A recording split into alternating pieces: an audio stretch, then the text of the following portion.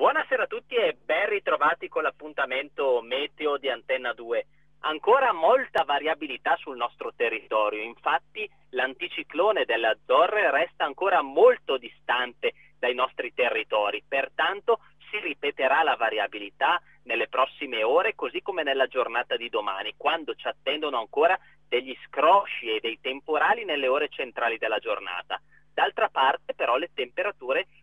cominceranno un pochino a crescere, infatti correnti più mite occidentali porteranno un innalzamento soprattutto dei valori massimi, la colonnina di mercurio, che si posizionerà intorno ai 16-18 gradi, a Clusone 22 gradi nella città di Bergamo. Ma come andrà la prossima settimana? Ecco, almeno fino a martedì avremo ancora questa variabilità, infatti correnti fresche di, pro, di provenienza nord-orientale seguiteranno ad affluire sulle nostre regioni settentrionali dell'Italia e quando queste correnti da est entrano proprio sul nostro territorio orobico, i rovesci e i temporali lo fanno da padrone, per cui lunedì se al primo mattino avremo cielo in prevalenza poco parzialmente nuvoloso, nel corso della giornata avremo ancora gli acquazzoni e dei piovaschi a bagnare il nostro territorio. Martedì questa instabilità sarà relegata solo ai nostri rilievi orobici più settentrionali alla Valle Camonica, dove proprio nelle ore centrali della giornata l'instabilità termoconvettiva favorirà ancora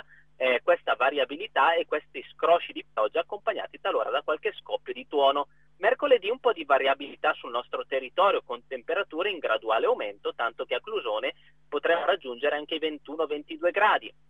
Però attenzione perché nel corso della giornata di giovedì arrivano dei nuovi acquazzoni sul nostro territorio, perché eh, si formerà una nuova circolazione seppur